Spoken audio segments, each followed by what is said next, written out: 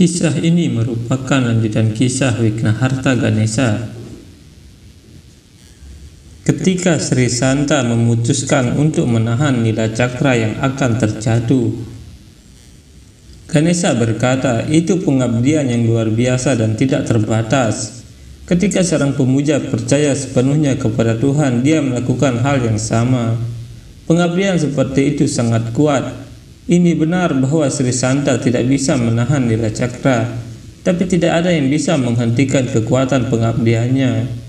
Sri Santa berkata, Prabu, kamu membawa beban dunia ini, jadi bukankah seharusnya aku melakukan ini untukmu? Biarkan semua orang menganggap aku bodoh, tapi tujuan hidupku adalah untuk mengabdi kepadamu. Aku tidak bisa menahan nira cakra ini, tapi aku juga tidak bisa membiarkannya jatuh ke tanah. Jika nila cakra ini jatuh, itu akan sama dengan menghinamu. Itu akan membuat pandangan yang salah kepada para penyembahmu. Aku tidak akan membiarkan itu terjadi. Itu sebabnya beri aku kekuatan atau bimbing aku, Prabu. Bimbing aku, Prabu. Sri Krishna muncul dan berkata, jika seorang penyembah tidak bisa ada tanpa Tuhan, maka tanpa penyembah Tuhan juga tidak lengkap. Sri Santa, pemujaku, siapa pemuja yang paling berhak untuk melakukan tugas ini? Sri Santa berkata, kamu tahu ini dengan sangat baik, Prabu. Dalam situasi sulit ini, satu-satunya yang bisa menghancurkan masalah dengan kekuatannya adalah penyembah yang paling hebat Prabu Hanuman. Sri Santa kemudian pergi sambil berkata, Aku telah sadar kembali, aku sudah mengerti bahwa Prabu Hanuman akan menyelamatkan kami. Sri Santa masuk ke kuil Hanuman dan berkata, Prabu Hanuman, sang penghapus masalah yang perkasa, tolong aku, selamatkan Lila Cakra. Selamatkan Lila Cakra dari bahaya. Hanuman berkata, mengapa pemuja Tuhan berhenti menyanyikan pujian-pujiannya? Hanuman kemudian mendengar doa dari Sri Santa dan melihat bencana yang terjadi di Jagannath Puri. Hanuman dengan cepat terbang ke sana untuk menyelamatkan Nila Cakra. Tapi Nila Cakra telah jatuh dan Hanuman dengan kekuatannya menangkap Nila Cakra yang besar dan berat itu. Setelah itu, Alam kembali normal dan Sri Krishna muncul di sana. Hanuman berkata, "Salam Prabu." Sri Krishna berkata, "Hanuman, aku tahu bahwa kamu akan datang." Hanuman berkata, "Aku selalu ada untuk melayanimu, Prabu." "Prabu, aku datang. Hal penting dalam hidupku adalah untuk siap melayanimu." Sri Krishna berkata, "Pemuja Hanuman, untuk memegang nila cakraku kamu menunjukkan delapan kekuatan kebijaksanaanmu." Dari hari ini di gerbang utara kuil Jagannath Puri kamu akan dihormati dalam bentuk awatara ini.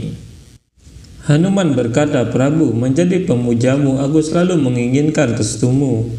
Aku selalu bersemangat untuk melayanimu. Prabu, aku berjanji padamu, dari hari ini aku akan menjadi perisai dari kuilmu. Aku tidak akan membiarkan badai apa pun atau masalah mendekati kuil Jagannath Puri. Sri berkata, Hanuman, kamu memiliki banyak pengabdian dalam pikiran, tubuh dan jiwamu.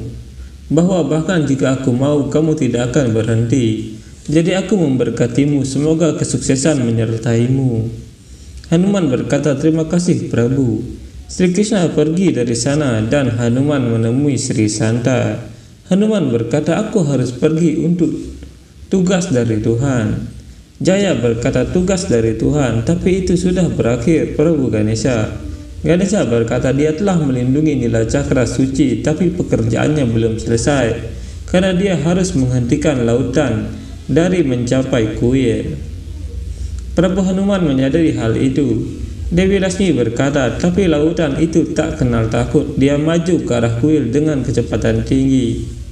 Tapi saat Prabu Hanuman ada di sana untuk melindungi kuil, tidak ada masalah yang bisa datang ke sana. Hanuman berjalan ke pantai dan air laut mulai kembali karena takut. Hanuman berkata tidak ada tugas di dunia yang sulit untuk dicapai ketika kamu mengucapkan nama Sri Rama. Sekarang kamu tidak bisa maju lebih jauh dari sini. Sekarang laut tidak maju lebih lanjut. Jadi biarkan aku pergi dan berdoa kepada Tuhan dan melihat arcanya. Hanuman kemudian menyamar sebagai seorang Brahmana dan berkata, Aku akan menawarkan pengabdianku kepada Tuhan dan mencari berkatnya lalu kembali ke tempatku. Hanuman masuk ke dalam dan dia mendengar ada pemuja yang berkata, Jangan lama-lama, sepatuku mahal, bagaimana jika sepatuku yang ada di luar dicuri oleh orang?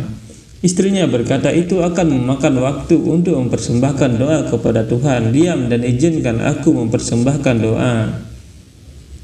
Suaminya berkata, ayo sekarang cukup berdoanya, di sini semakin ramai. Hanuman berpikir aneh, pemuja ini khawatir akan sepatunya. Istrinya berkata, kamu tidak pernah bisa bersabar, kenapa ayahku menikahkanku denganmu? Kamu bahkan tidak akan membiarkan aku berdoa dengan damai. Mari kita pergi. Mereka kemudian pergi dari sana. Suaminya berkata, aku hanya berharap sepatuku aman dan tidak ada yang mencurinya. Hanuman berpikir benar-benar materialistis, ini tidak bagus, aku harus menghentikannya. Orang itu keluar dan berkata, lihat itu, ini bukan sepatuku. Mungkin seseorang mencurinya, bahkan ini pun bukan sepatuku. Aku menyanyiakan waktu untuk berdoa dan sekarang sepatu baru milikku dicuri. Lihat ini bukan sepatuku, seseorang mencuri sepatuku. Aku menyuruhmu bergegas, tapi kamu tidak mendengarkanku. Seseorang telah mencuri sepatuku. Hanuman berkata, mengapa begitu materialistis? Kekayaan materi tidak akan tetap ada selamanya. Artinya mereka yang bebas dari kesenangan materialistis adalah mereka yang menaklukkan kehidupan panah dengan spiritualitas mereka mereka tidak memiliki keinginan duniawi dan mereka yang telah melampaui jaringan suka dan duka hanya mereka yang akan mencapai keselamatan. Itu hanya mungkin di sini. Kamu bisa mendapatkan pahala yang akan selalu bersamamu. Tidak ada yang bisa mencuri darimu. Kamu harus khawatir tentang itu. Orang itu berkata, terima kasih untuk mencerahkanku Brahmana. Aku telah menyadari kesalahanku. Aku khawatir tentang sepatuku dan tidak bisa memberikan perhatian penuh kepada Tuhan. Mari kita masuk ke dalam dan berdoa kepada Tuhan dengan cara yang benar. Mereka kemudian masuk ke dalam untuk berdoa lagi. Saat Hanuman akan masuk ke kuil, dia terkejut melihat air laut mulai naik lagi. Hanuman berpikir lautan itu datang ke sini lagi. Hanuman pergi ke pantai dan lautan kembali turun setelah melihat Hanuman. Hanuman berkata, Samudra, tolong tenang agar aku bisa berdoa kepada Tuhanku. Lautan menjadi tenang dan Hanuman kembali ke kuil. Di dalam dia melihat orang-orang berkata, apa yang kamu minta dari Tuhan? Semua yang aku inginkan dari Tuhan yang agung adalah rumah yang besar. Yang lain berkata, apa yang akan aku lakukan dengan sebuah rumah? Aku sudah memiliki rumah besar. Aku ingin perhiasan yang berharga seperti Dewi Sumitra. Aku memiliki perhiasan seperti itu dari Tuhan, dan aku hanya ingin seorang anak. Hanuman berpikir, semua orang ini datang ke sini untuk melihat Tuhan atau untuk berbicara satu sama lain. Hanuman berkata, "Pendeta, apakah itu bunga dari kaki Tuhan? Tolong bantulah dalam bentuk berkat Tuhan untuk menyirami bunga-bunga ini kepada semua orang yang hadir." Jika sekutu bunga jatuh di pangkuan seseorang, doa mereka akan mendapatkan berkat Tuhan dan menjadi kenyataan. Pendeta kuil kemudian menaburkan bunga kepada semua orang. Ada dua wanita berkata, Tuhan tidak memberi kita bunga. Mereka merasa sedih. Hanuman berkata, kita semua lapar akan berkatnya dan Tuhan lapar akan pengabdian kita. Para penyembah yang memuaskan rasa laparnya akan diberkati oleh Tuhan. Tapi apa yang kalian lakukan? Kalian datang untuk memberi doa tapi terlibat dalam hal ini. Itu sebabnya kalian tidak mendapatkan berkat Tuhan. Tidak ada akhir dari keinginan. Jika kita ingin memberitahu Tuhan, kita harus mendengarkan Tuhan. Ketika kalian tidak ingin untuk mendengarkan Tuhan, bagaimana kalian bisa berharap mendapat berkah darinya? Tiba-tiba Hanuman merasakan bahwa lautan kembali bergemuruh dan Hanuman pergi lagi ke pantai. Hanuman berkata, Samudra, aku belum melihat Tuhan. Biarkan aku mengunjunginya sekali lagi. Orang-orang di sana menggangguku, kamu tahu. Harap tenanglah Samudra. Hanuman kemudian kembali lagi, dan di jalan dia melihat seseorang yang berkata, Pendeta, aku memiliki banyak uang, aku akan berbagi denganmu juga. Bukalah pintu menuju surga untuk ayahku yang sakit. Jika ini tidak cukup, datanglah ke rumahku. Aku akan memberikanmu uang seberat tubuhmu. Kamu hanya perlu membantu ayahku untuk mencapai surga. Hanuman berpikir betapa bodohnya dia. Dia ingin mendapatkan surga dengan membayarnya dengan uang. Orang itu berkata, "Ini pendeta, kalung emas yang berharga, lakukan sesuatu." Sebelum sesuatu terjadi padanya, berdoalah kepada Tuhan dan membuka pintu ke surga untuknya. Hanuman berkata, "Di mana hidup menyangkut uang itu tidak memiliki nilai." Kamu dapat menggunakan uang sebanyak-banyaknya seperti yang kamu inginkan, tapi kamu tidak dapat membeli lebih banyak waktu untuk ayahmu atau memberinya surga. Hanya ada satu cara untuk mencapai keselamatan, yaitu keyakinan. Keyakinan adalah satu-satunya oksigen. Jika kamu berdoa kepada Tuhan dengan keyakinan di hatimu, oksigen akan bersirkulasi di hatimu juga. Orang tua itu kemudian berdoa dengan keyakinan dan Hanuman berkata, tiup sangka ini dengan keyakinan. Kamu akan sembuh dan kamu tidak akan pernah merasakan kekurangan oksigen. Orang tua itu kesulitan meniup dan Hanuman berkata, sebut nama Prabu Jagannath.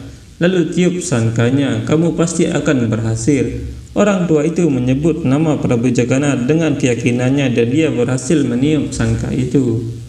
Putranya berkata luar biasa, Ayahku baik-baik saja, maafkan aku Brahmana, aku mencoba untuk membeli keyakinan dengan uang. Hanuman berkata, bukan aku, tetapi sentuhlah kaki Tuhan dan meminta maaf kepadanya. Kamu telah datang untuk bertemu dengannya dan dialah yang bisa membantu orang mencapai keselamatan. Tidak ada cara yang mudah untuk mencapai keselamatan. Madawa berkata, penyembah yang hebat tidak pernah lupa untuk melayani Tuhan. Pemuja Prabu Sirama, Prabu Hanuman mulai membimbing para penyembah ketika dia sendiri belum bertemu Tuhan. Subhadra berkata, inilah kehebatan yang membuat kita semua bersujud.